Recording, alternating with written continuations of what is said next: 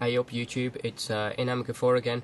Um, this time I'm going to be showing you uh, how to upgrade your Samsung Galaxy S2 Android operating system to an operating system which is still Android but not available through the Samsung Kies software.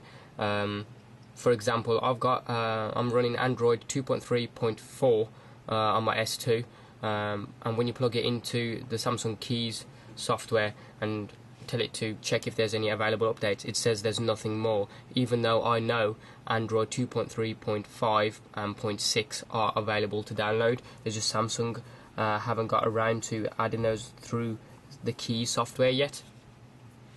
So this is a way of not using Samsung Kies, using third-party software to update your uh, Galaxy S2 to a, a, more of a newer operating system, which cuts out uh, instabilities and has better better performance basically. Um, so what I'm going to be update upgrading to, should I say, is to Android 2.3.6. Still gingerbread. You're going to need a couple of things for this uh, process. So first of all, you're going to need the new firmware itself. I will be putting a link into uh, in the description for where where you can download um, the the firmware from. Uh, but the firmware itself is approximately 333.3 megabytes. Um, it's Android, as I say, 2.3.6. Um, for those of you who need to know, the build number is i9100XWKK5. Okay. Um, apart from that, you're going to also need uh, a working version of Odin 3 version 1.8. sorry, version 1.85 available to download. Just Google it, but I will put a, a link in the description, as I say. And of course, you're going to need a PC connected to the internet with the the Samsung Galaxy S2 plugged into it via USB. I've already downloaded um, the firmware version. It's on my desktop there. All I've done is, for the purposes of this video, extracted it straight away to this folder here underneath it and you can see there the files inside of it all you need to do is extract the main folder the main file should I say which is a, a rar file. Um, don't do anything with the other files once you see them. Uh, I've just left it on the desktop for ease of use. Uh, apart from the firmware you're also going to need to download a third-party software called Odin 3 version 1.85 you can just google it you can download it anywhere. But I will put a, a, link in the description where you can get it. Okay so first things first uh, I've already backed up my phone so I don't take no responsibilities for any damage that might be done to your phone neither will Samsung. Um, so first things first uh, we load up uh, Odin 3 I'm running Windows 7 so I'm going to be right clicking on it run as administrator. Boom it comes up. Um, now what we need to do is select um, usually if the phone's connected this first box here is yellow but it's not because I've got the phone off at the moment. It is connected but it's off uh, I'll give you a reason for that in a second. So all we do is uh, first tick all of these here. Repartition auto reboot reset reset time. And what we're going to be doing is the buttons on the right hand side. Click on the first one which says pit. And we need to navigate to wherever we downloaded the firmware to and extracted the files to. So I'll put it on my desktop. So I'll just locate it. Here we go. If I just log, log get to the folder and there's only one pit file so just select it and hit open and it automatically puts it in. We need to do the same for the ones below but it's a little bit different. So select bootloader okay? It takes you back to the same screen you were back in before. Under the bootloader one what you want to do is the one that begins by saying AP boot. There's only one so just th that's the one saying AP boot. Select it hit open. Next, tick the PDA one. Now the PDA one is the one that you need to pick, the one that begins by saying code. Okay, so select it, open. Select the next one which says phone. And now uh, you need to select the one that begins by saying modem. Again, there's only one, so select it and hit OK. Put the tick next to CSC. Hit the button, opens up the window. Now for CSC, we need to download the one that says begins by saying GT. Now there are two of these, but we're the we're after the shorter one, which contains a word, um, which doesn't contain the word home in it. Okay, so it's that one. Hit open. That's done. Now, next thing that we need to do is put our Samsung Galaxy S2 in download mode. Now, the way you can do that is it once the phone's off, press the volume down key, the home button, and the power button together until it switches on.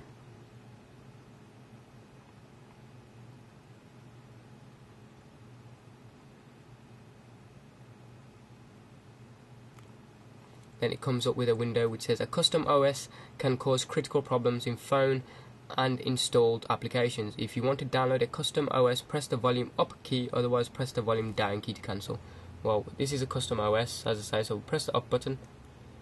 Now it says downloading, do not turn off target. That's what we wanted.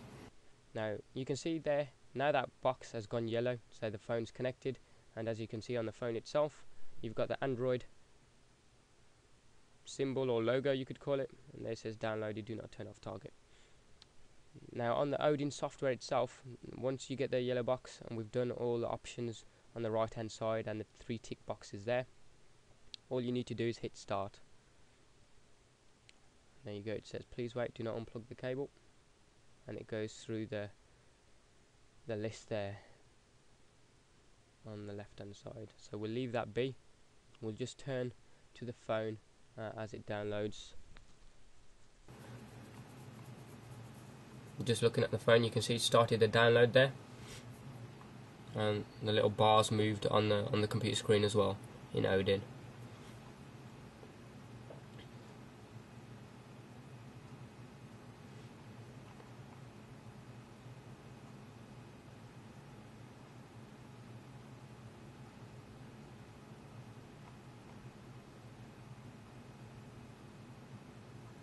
I may fast forward this video just to save a little bit of time.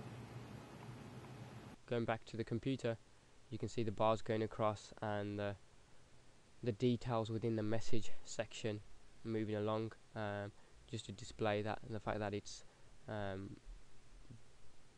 uploading the firmware to the phone. So we'll leave it be. You can see on the computer screen there just saying transmission complete now writing, please wait about two minutes. Re receive response from Loke. So it's probably doing some. saying succeed, succeeded once, and you can see the phone's rebooting now as it's finished downloading. Um, it looks like Odin has finished because it's got a, a pass um, on the top left of the screen and if you look at the phone you can see it's just going through the startup routine so it's probably doing some saying succeed, succeeded once and you can see the phone's rebooting now as it's finished downloading. Um, it looks like Odin has finished because it's got a, a pass um, on the top left of the screen and if you look at the phone you can see it's just going through the startup routine.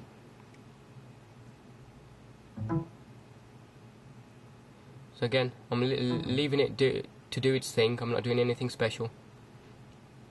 And now as it reboots, Samsung Kies is loading up on my screen. But I'll just close that straight down because we're not using that.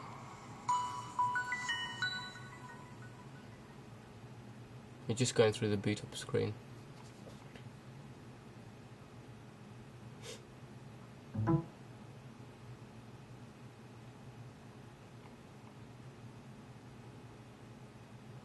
I'll just close down Samsung Kies again because it wants to connect to the phone.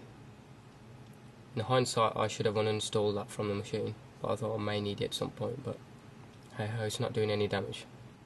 Okay now on the phone itself you can see it's done and it's saying touch it. Um,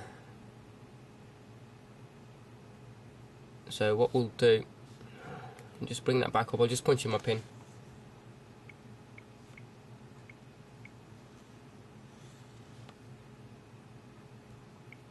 I'm just going to change the language because it seems to be some other language. So what we'll scroll up to English United Kingdom because that's where we're at.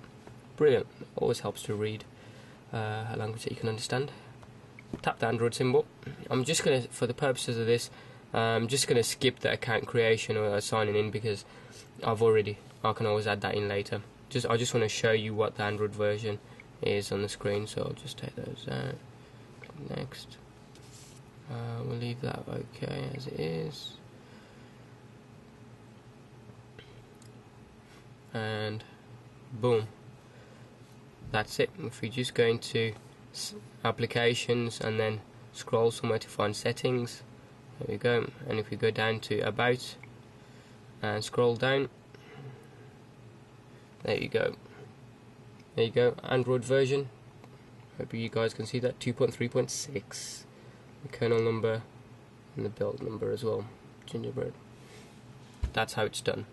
Um, you can disconnect the phone from the machine now. Uh, it's done uh, from the computer it's done its part. There's uh, no need for it to stay connected. So we've done with a Odin 3 so we can go ahead and get that closed down. As the phone has finished rebooting and is back uh, logged in now. So and we're done.